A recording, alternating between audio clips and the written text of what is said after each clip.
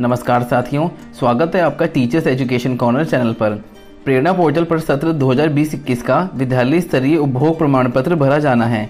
अगर आपने अपने विद्यालय का तीनों चरणों का खाद्यान्न और धनराशि का एमडीएम डाटा प्रेरणा पोर्टल पर भर दिया है तो आपको यह प्रमाण पत्र ऑनलाइन ही भरना होगा। आज की वीडियो में हम बहुत ही आसान स्टेप्स में पूरी डिटेल के साथ यह प्रमाण पत्र भरना सीखेंगे, जिससे भरते समय कोई भी गलती ना हो पाए, इसलिए वीडियो पूरा देखेगा। अगर आप चैनल पर नए हैं तो चैनल को सब्सक्राइब ज़रूर कर लें और बेल आइकन भी प्रेस कर दें, जिससे ऐसे ही महत्वपूर्ण वीडियोस के नोटिफिकेशन आपको मिल पाए। सबसे पहले आप Prerna UP dot in website को ओपन कर लेंगे और बैंक डाटा अपलोड ऑप्शन से टीचर लॉगिन पर क्लिक करेंगे। अब बैंक अपलोड ऑप्शन सेलेक्ट करके अपने रजिस्टर्ड मोबाइल नंबर से लॉगिन कर लेंगे। लॉगिन करने के बाद लेफ़्ट साइड में डैशबोर्ड जहाँ लिखा है, उसी के ठीक नीचे विद्यालय स्तरीय उपभोग प्रमाण पत्र है, उस पर क्लिक करेंगे। अब आपके सामने उपभोग प्रमाण पत्र खुल जाएगा।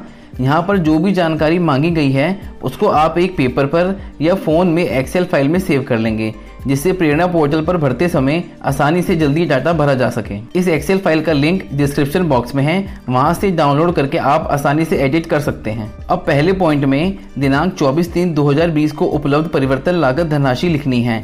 इसमें आपके विद्यालय की एमडीएम वाली पासबुक में जो धनराशि 24 तीन 2020 को परिवर्तन लागत की शेष हो, वह लिख देंगे।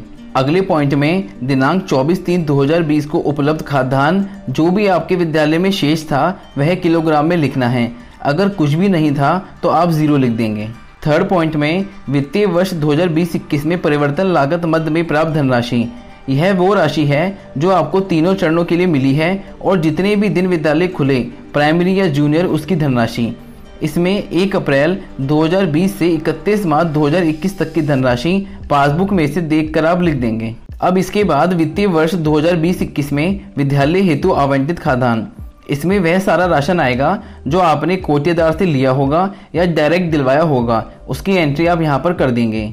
कोटेदार के स्टॉक रजिस्टर में भी आपको यह सारी डिटेल मिल जाएगी। इसके बाद फिफ्थ पॉइंट में लॉकडाउन की अवधि में छात्रों को फ़ूड सिक्योरिटी अलाउंस वितरण की स्थिति। यहाँ पर तीनों चरणों के कार्य दिवस हैं, अप्रैल से जून छिहत्तर दिन, जुलाई से अगस्त उनचास दिन और सितंबर से फरवरी 138 दिन। ये प्राइमरी के हैं, जूनियर में सितंबर से फरवरी में 124 दिन आएँगे।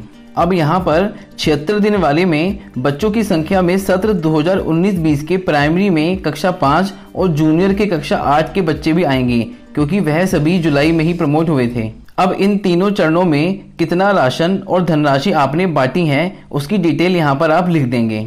अगर आप चाहें तो इस डाटा को वेरीफाई करने के लिए प्रेरणा पोर्टल पर डैशबोर्ड पर अपलोड एनालिटिक्स में तीनों चरणों में कितना राशन और धनराशि वितरित की गई है, वह चेक कर सकते हैं।